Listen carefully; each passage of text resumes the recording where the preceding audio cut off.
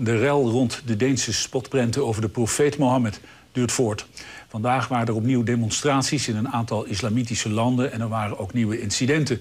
In Jordanië werd de hoofdredacteur van een krant gearresteerd. Een krant die enkele van de tekeningen had afgedrukt. In Gaza-stad hebben demonstranten het kantoor van de Europese Commissie aangevallen. En in Damascus in Syrië werd de ambassade van Denemarken in brand gestoken. Wat moet je ervan denken?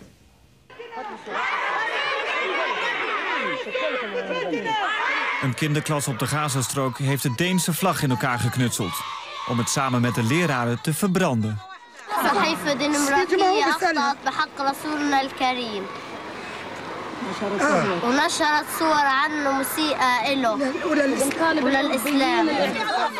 De vlag van Denemarken heeft het nog nooit zo zwaar te verduren gehad als deze week. Rotte eieren tegen de Deense ambassademuur in Indonesië. Donderpreken in Iran. Er wordt gescholden op Denemarken, zelfs gedreigd. Een spontane woedeuitbarsting? Die demonstraties zijn niet echt spontaan. bedoel, waarom eh, prints en eh, cartoons die al maanden geleden gepubliceerd zijn... ineens uh, een groot punt worden? Dat, daar moet je je toch ook afvragen. Hoe komt dat dan? Van, van, van waar ineens deze explosie? Daar zitten gewoon of religieuze leiders achter... of de regeringen achter. Dus je hebt ook met whom te spreken.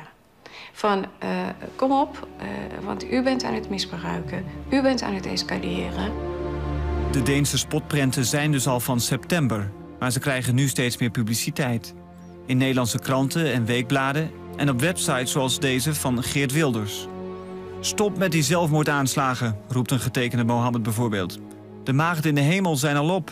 Uh, Mohammed met die bomtulban, dat is volgens mij wat veel mensen stoort. Uh, onze profeet is uh, vredelievend.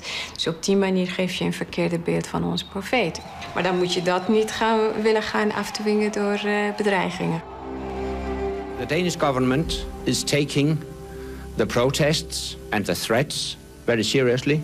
De Deense premier probeert de islamitische wereld nu tegemoet te komen. Amerika verklaarde vandaag dat ze de tekeningen toch ook te ver vonden gaan. Maar Kamerlid Farah Karimi, die 20 jaar geleden uit Iran vluchtte... vindt dat het Westen echt op de bres moet springen voor de vrijheid van meningsuiting. Waar ik me enorm aan stoor is dat je aan de ene kant zegt um, dat vrijheid van meningsuiting voor ons ontzettend belangrijk is. En aan de andere kant blijkbaar niet bereid bent om uh, uh, gewoon ruggengraat te tonen en dat te verdedigen. Nous sommes attachés à ce droit fondamental que des dessinateurs de presse puissent faire des représentations de profète Mahomet. Maar toen de manager van François inderdaad de printen afdrukte, kreeg hij ontslag. Een hoofdredacteur in Jordanië is vandaag om de gepubliceerde strips gevangen gezet. In Saudi-Arabië worden Deense producten geboycott. Toch mag het Westen niet onder die druk bezwijken, vindt Karimi.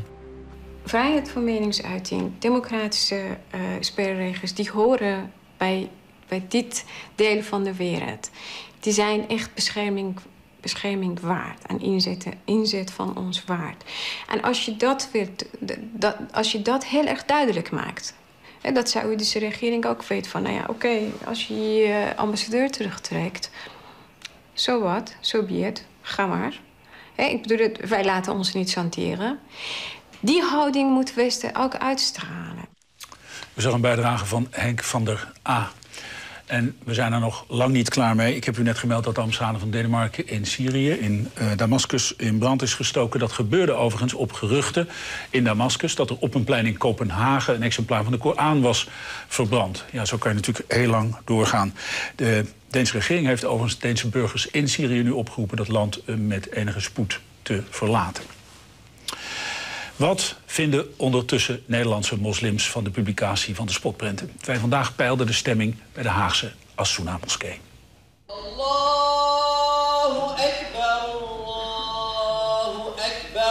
يعني هم في الحقيقة لو سخروا بالمسلمين احنا ما عندنا مشكلة يعني إهانة النبي صلى الله عليه وسلم أعظم من إهانتنا We zijn in de als orthodox bekendstaande Assouna-moskee in Den Haag. De moskee van imam Fawaz.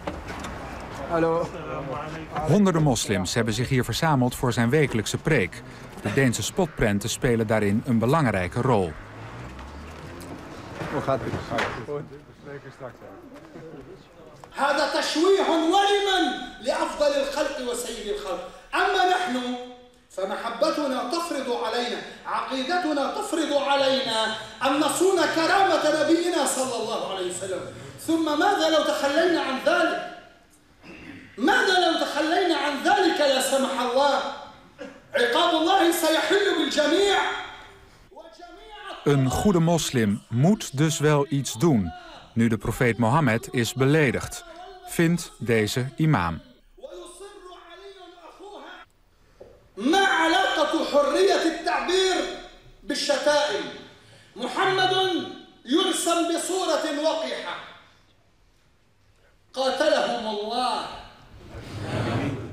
Dat moet niet worden uitgelegd als een oproep tot geweld, benadrukt de imam.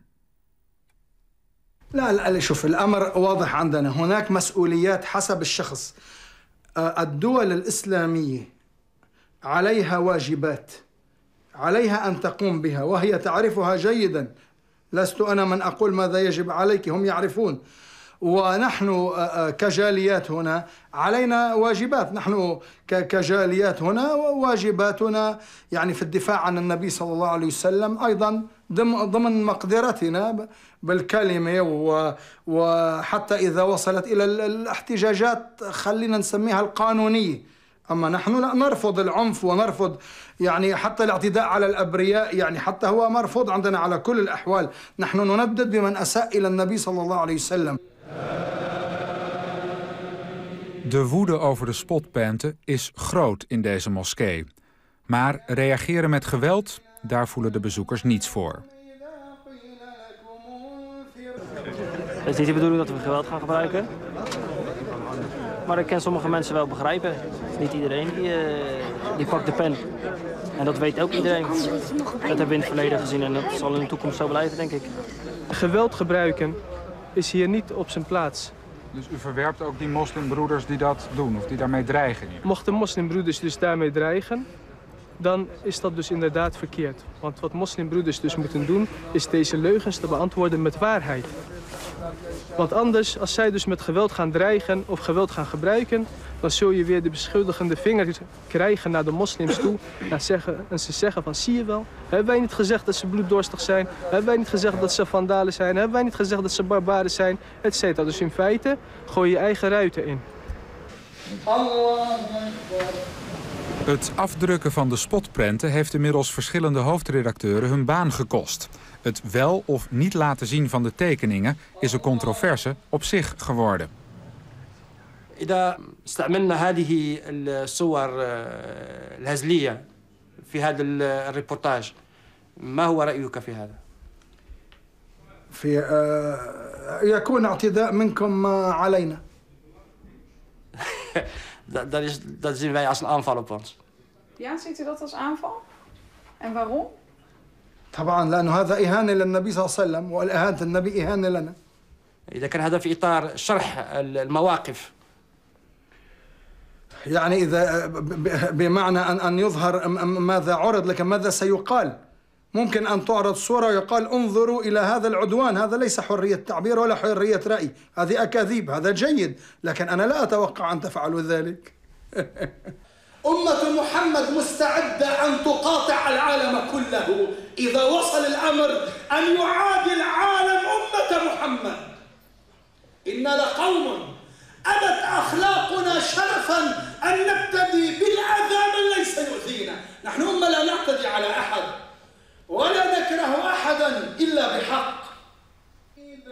Die reactie moet er een van woorden zijn, niet van geweld. Daarover zijn ze het eens, de moslims in deze orthodoxe moskee.